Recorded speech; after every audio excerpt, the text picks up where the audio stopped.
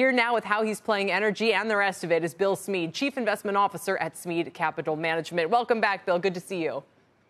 Yeah, good to, good to be with you. I worry about energy because it, it's done so well, and oil prices have kind of dropped off at year end. And, and Ed Morse now has me thinking, you know, maybe he's right, and, and it's going to be kind of a, a grind next year. So why should I own these energy stocks?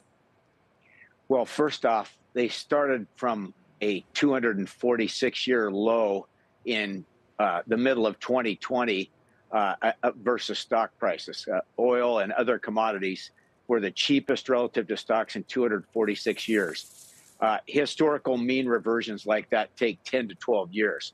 So, a, a hint from Ed is yes, we, we're in them for the next 10 years, and there'll be a few correction years in the process. And that might be this next year if there's a deep recession.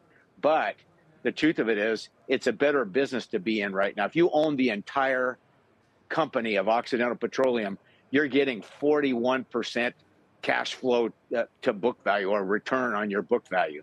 That's that's way better than any any time in in in decades for yeah. this industry.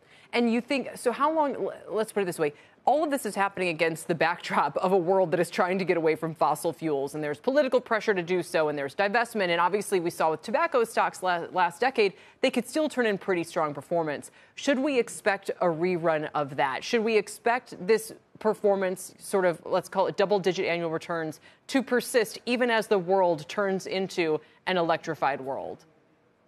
Well, first of all, they're a tiny part of the S&P 500 index. They're only about four, four and a half percent of the index. Uh, they peaked in 1981 at 29.74.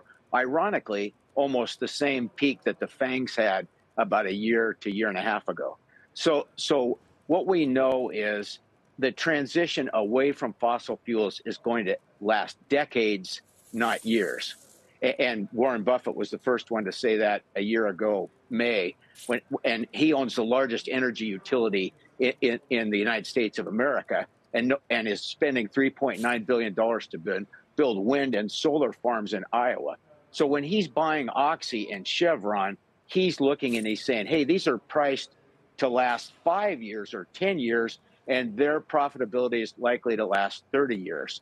Because remember, it's one of the ways of making electricity. There's only four ways to make uh, electricity right now that, that are viable, and that's wind, solar, natural gas, and putting gasoline into turbines, which is what they do in California when they have brownouts. They just don't mention that. Right. So, the case for energy being what it is that you foresee, where would it rank in terms of your best ideas? And I know you like stocks better than sectors, and, and but we are, are often talking about these big, broad thematic themes. Um, I can't imagine you're that optimistic about what's going to happen with the economy next year. I know we like the consumer story long term, but maybe not so much in the near term.